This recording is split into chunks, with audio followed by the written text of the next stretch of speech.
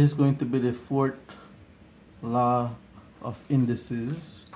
Uh, the fourth one says a to the m raised to the n equals to a m times n. Right? Again notice what it's saying or what it is trying to tell you.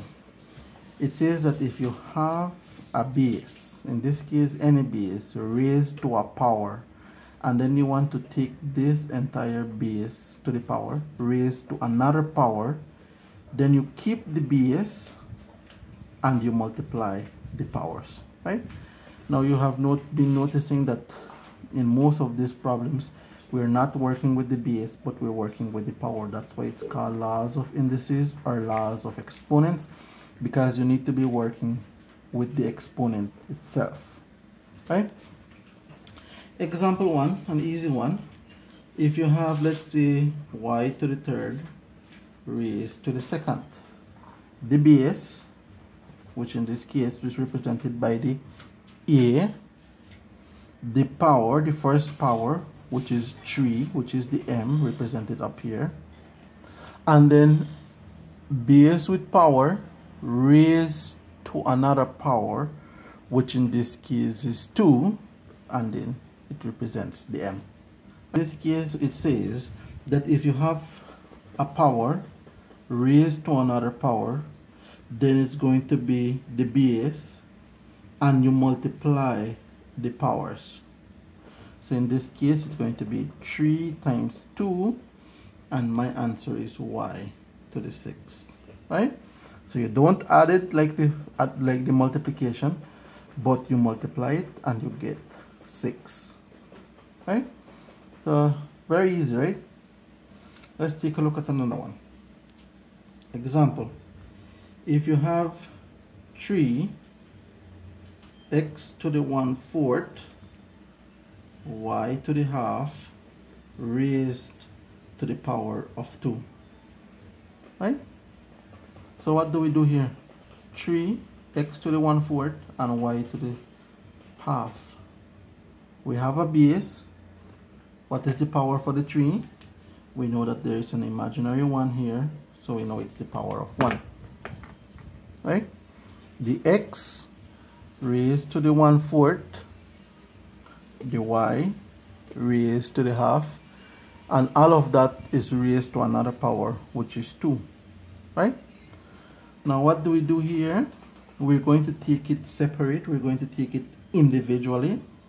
It is going to be 3 1 times 2 right the power times the other power so 1 times 2 the x 1 fourth times 2 got it and then y 1 half times 2 3 1 times 2 x 1 fourth times 2 and then y half times 2 all of them was multiplied by 2 which is the our other power that you were trying to raise it.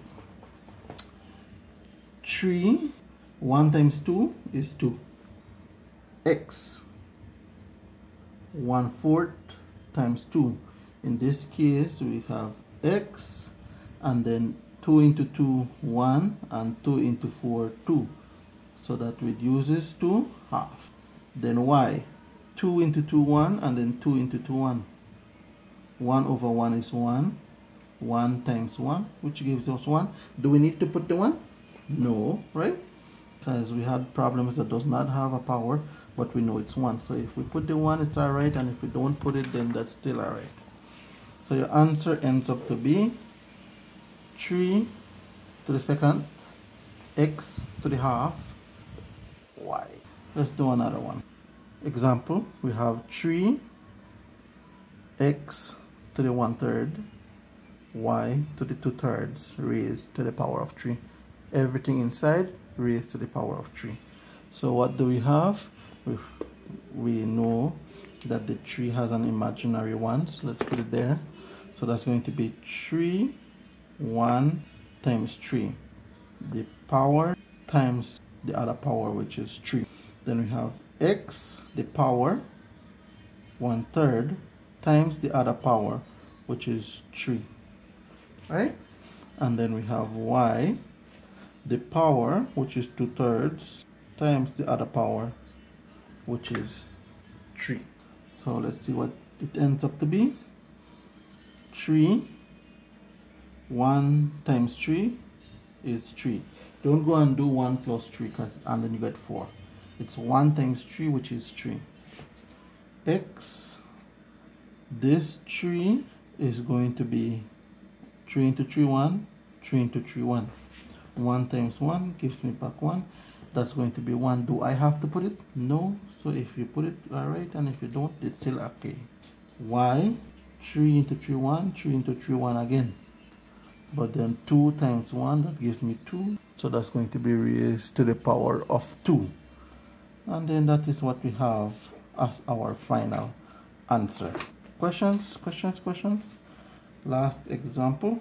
The last example is going to be let's say you have 5 to the second x to the third y to the negative 2 and then z to the neck to the and then we multiply that by or raise it to the power of 2 so this one we will say it is going to be 5 to the second times the second which is the 2 up here 2 times 2 then we have x to the third times 2 and then we have y to the negative 2 times the 2 and then we have z to the half times the 2 you take each one of them and you multiply it by 2 what do we get?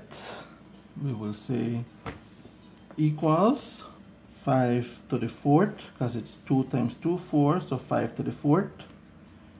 X 3 times 2 3 times 2 is 6 and then y negative 2 times 2 that gives me negative 4 and then here we reduce 2 into 2 1 2 into 2 1 and then that's going to be z because 1 times 1 is 1 and then again we don't need to put the powers.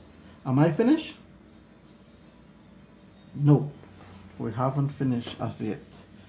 We I noticed that I have a negative 4 so I need to change that to positive. Now according to the law 3 if you have a negative power then if it is in the numerator you change it to the denominator to be positive. And if it is in the denominator you put it in the numerator to make it positive right? This is in the numerator because if you notice this is over 1 so we will need to change this to the denominator. So we leave 5 to the fourth at the top numerator. We leave x to the 6th at the top. We bring down y to the fourth and we leave z at the top because it's positive. And then there we have it. That's our final answer. Okay. I hope you guys like the video you need if you need to ask any question then you could leave it on the forum and i'll try to answer it as quick as possible